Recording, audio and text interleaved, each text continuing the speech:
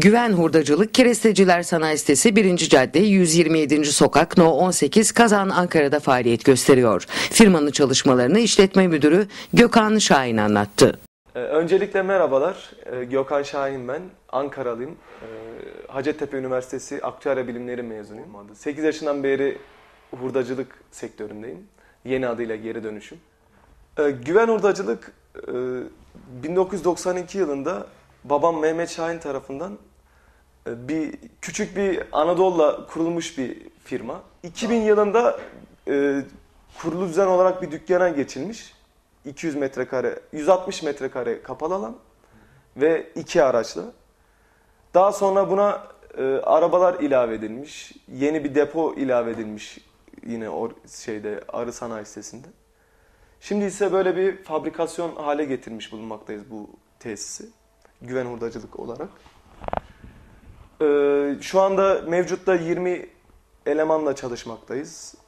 Güven hurdacılık olarak e, bu gelişmeyi, hızlı bir ivmeyle artışı e, dürüst ve düzgün çalışmamıza borçluyuz. E, şimdi biz firmalara bıraktığımız konteynerler orada e, şey e, işçiler tarafından doldurulmakta. Ama onun ayrımı bu bizim fabrikamıza geldikten sonra yapılmakta. Yani hurdacılıkta güven istiyorsanız güven hurdacılık.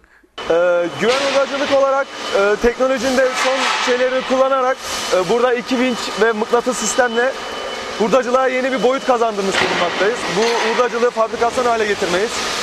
E, DKP hurdalar, e, çelik döküm hurdaları ve mıknatıslarla gördüğünüz gibi bu hurdacılığı e, ileri boyut kazandırdık. Ee, Güven hurdacılık olarak bu inşaatın başlangıcında e, ÇED raporu, çevresel etki değerlendirme raporunu aldık burada. Yani e, çevreye duyarlı bir firma olduğumuzdan dolayı e, buralara zarar vermemeye özen gösteriyoruz. Fabrikalardan aldığımız kimyasal atıklı maddeler, kontamine atıklar, talaşlar, bor yağlı talaşlar bunları arıtmak için ise kimyasal atık su arıtma tesisi kurduk bu fabrikamıza. Bu Ankara'da nadir firmalarda var ve Türkiye'de daha doğrusu.